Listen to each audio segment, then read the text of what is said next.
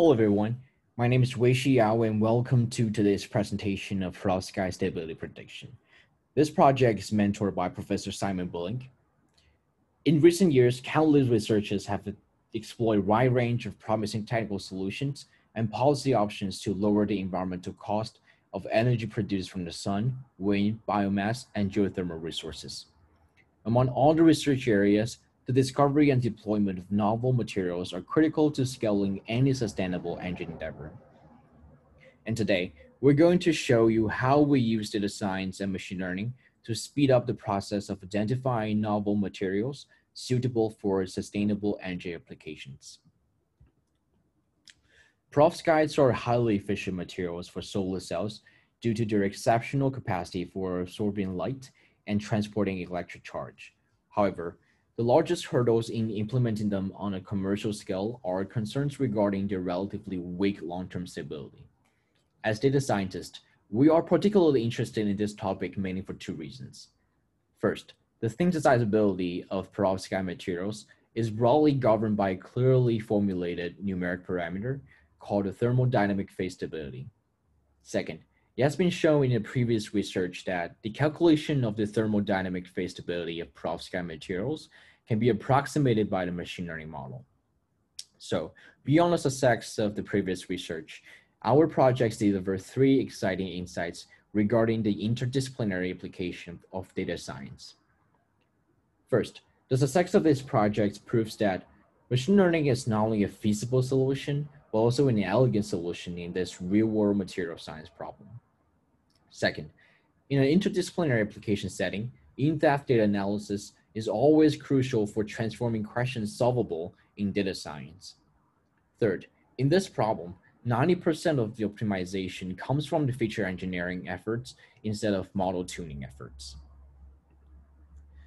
Our approaches could be divided into four parts.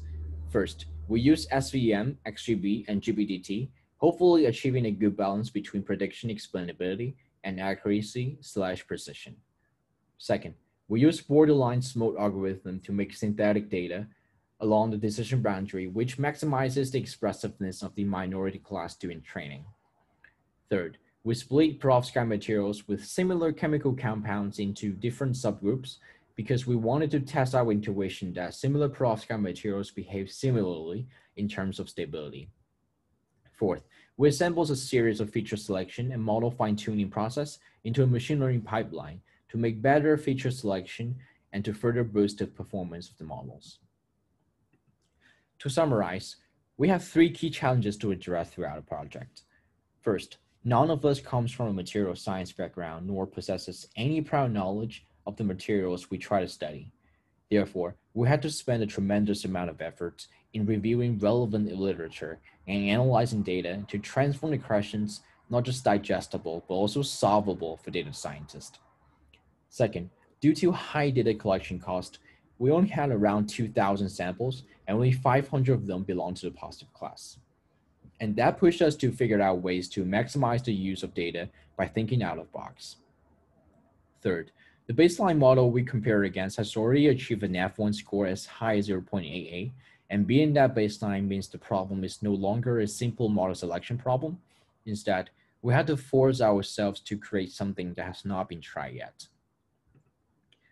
Looking back to the final results of the project, we would say the project was a success not only because we successfully built a pipeline that significantly increased the classification predictions results than the previous researches, but also because the project further confirms the interdisciplinary applicability of data science. The most exciting part of this project is that even though none of us come from material science background, the data science training we received equips us with tools to analyze and transform interdisciplinary knowledge into questions solvable in data science. More importantly, once proved to be solvable through machine learning, questions like this will continuously benefit from the recent advances, not just in model performance, but also in model explainability and prediction transparency.